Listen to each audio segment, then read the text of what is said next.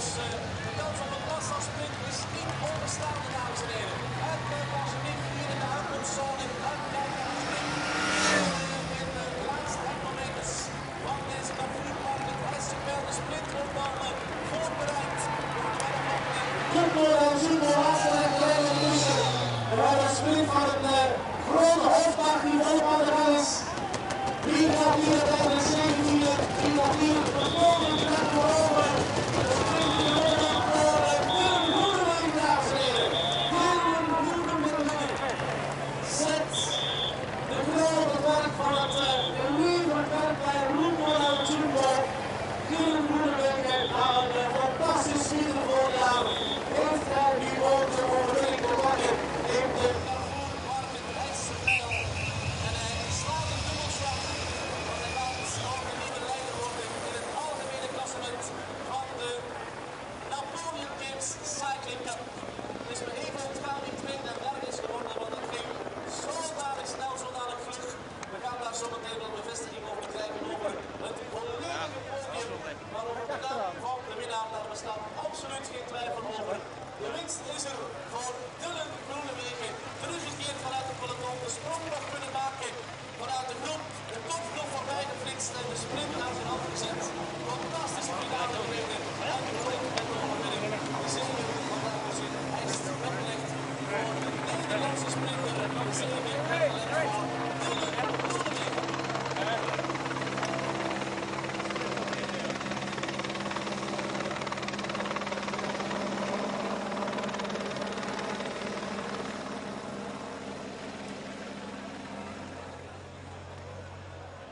sprint van je welste van Dylan Groenewijk. We zullen nog een keer geven de slow motion beelding. Ik heb de indruk dat Wouter Hubert de man is die op de tweede plaats eindigt. En dan zal het erom spannen hoor. Tussen Dries de Bond en een jongen van de Ethics Quicks de ploeg voor de derde podiumplek. Dus uh, we gaan daar zometeen wel.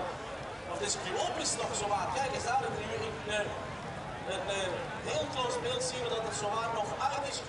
Is, die is dan ook nog teruggekeerd die hier eh, misschien wel mee op het eh, podium belandt. We gaan daar eh, zometeen wel verduidelijk, verduidelijking over krijgen wanneer de wedstrijdjury ons die officiële top 3 gaat doorspelen.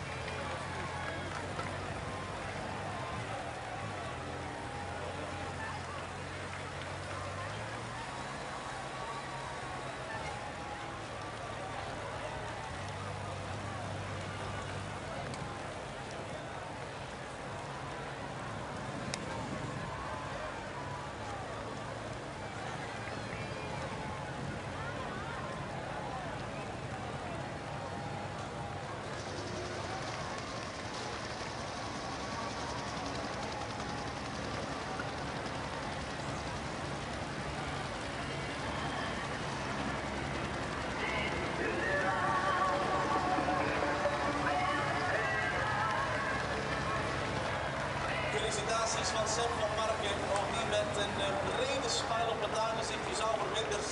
De Lotto El Jumbo ploeg heeft de winnaar in hun rangen. En Aydis Lopez en Kenny de Haas zijn de mannen die hem zullen vergezellen op het podium van deze Carrefour Market Heisse Pijl 2016. De Haas is derde, de Piers vierde, dames en heren. Paterski, de Polis vijfde, Vermont is zesde, Benoot zevende, Van Nerbergen achtste, Kreder